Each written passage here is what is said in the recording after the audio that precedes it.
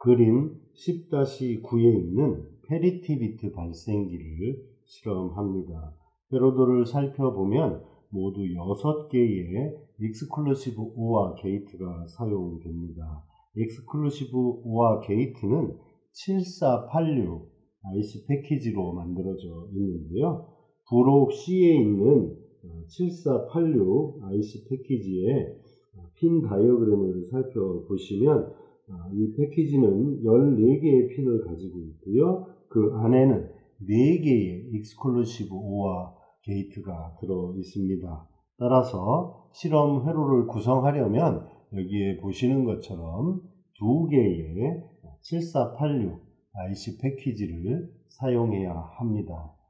이 7486 IC 패키지는 여기에 있는 7번 핀이 전원 그라운드 핀이고요. 그 다음에 14번 핀이 VCC 5V의 전원 핀입니다.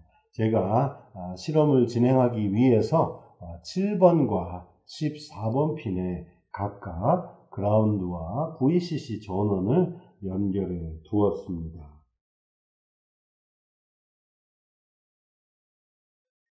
회로도를 살펴보면 parity bit 발생기에 사용되는 총 6개의 exclusive OR gate 중에서 왼쪽에 3개는 여기에 있는 첫 번째 IC 패키지를 사용하고 있고요. 그 다음에 오른쪽에 있는 3개의 exclusive OR는 여기에 있는 아래쪽 IC 패키지를 사용하고 있습니다. 요 점을 유의하면서 배선을 해야 할 텐데요. 첫 번째로 맨 왼쪽 위에 있는 exclusive OR gate를 살펴보면 3번 핀과 그 다음에 두 번째 패키지에 1번 핀이 연결되어 있습니다.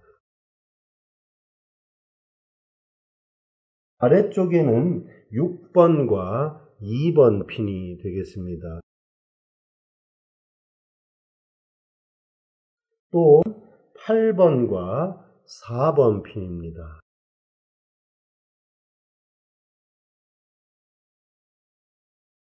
다음은 두 번째 IC 패키지에서 3번과 9번이 연결됩니다.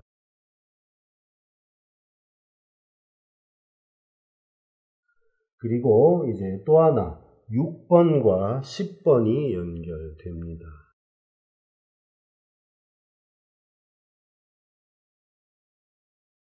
패리티 비트 발생기에 입력을 연결합니다. A0부터 A6까지 총 7개의 입력을 가지고 있는데요. 첫 번째 A0는 1번입니다.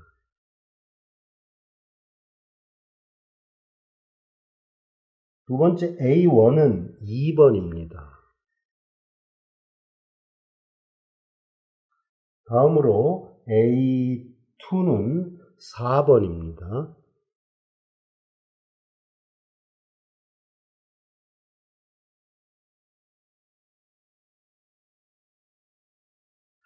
이제 마지막으로 A6인데요. 두 번째 IC 패키지의 5번 핀입니다.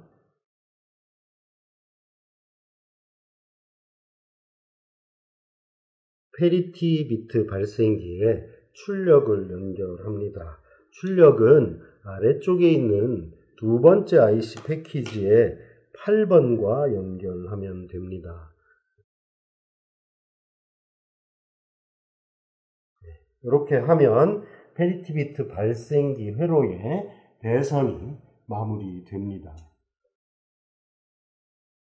패리티 비트 발생기의 동작을 실험해 봅니다.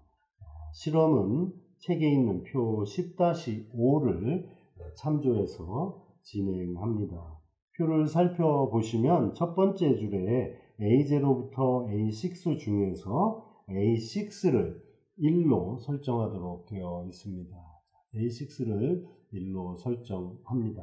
그러면 여기 보시는 것처럼 출력 P가 1이 되어서 어, 전체적인 일의 개수를 여기 보시는 것처럼 두 개지요. 짝수가 되도록 회로가 동작합니다. 다음으로 두 번째 줄의 데이터를 보시면 아, A5도 1로 설정하는데요. A5를 1로 설정해 봅니다. 이와 같이 A5와 A6를 1로 설정하면 출력 P가 0이 되면서 1의 개수가 짝수가 되도록 P가 바뀐 것을 확인할 수 있습니다. 이번에는 A2와 3를 1로 하고 그 다음에 마지막에 있는 A6를 1로 만들어 봅니다. 이렇게 하면 출력 P가 1이 되면서 1의 개수를 짝수로 만들어주는 패리티 비트 발생기에 동작을 합니다. 다음으로 A0부터 A2까지를 1로 하고 그 다음에 A5도 1로 바꿔 보겠습니다. 이렇게 하면 입력부에서 1의 개수가 4개로 짝수가 되었고요.